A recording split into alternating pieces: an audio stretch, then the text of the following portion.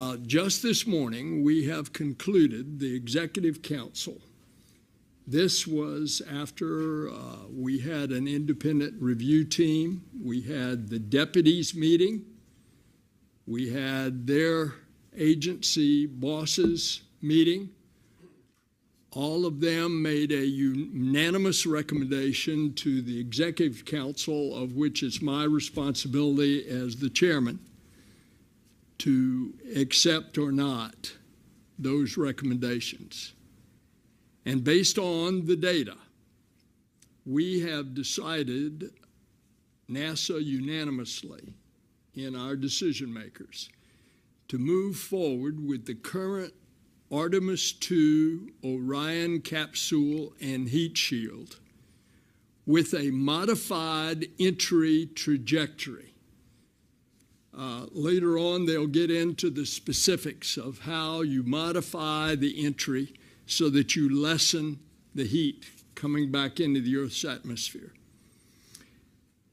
Uh, additionally, we need to complete our updates to the Orion environmental controls and the life support systems that were identified earlier this year. And that's a very important part. The ECLSS system, the life support system of Artemis 2, needs to be checked out. That's a very important goal and accomplishment before we go translunar injection to the moon. And so we are planning for Artemis 2 to launch in T30. We need to get this test flight right. Uh, need to get this test flight right, uh, this Artemis 2 test flight right, to ensure the success of our return to the moon and then return safely to Earth in order for the rest of the Artemis campaign to proceed.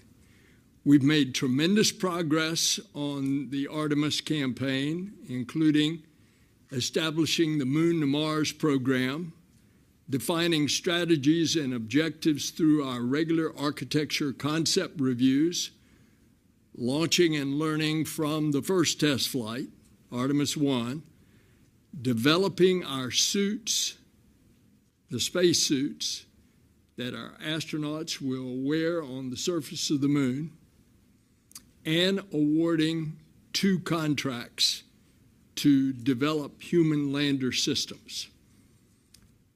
Space is demanding, and we and our industry and international partners need this time to make sure that the Orion capsule is ready to safely deliver our astronauts to deep space and back to Earth.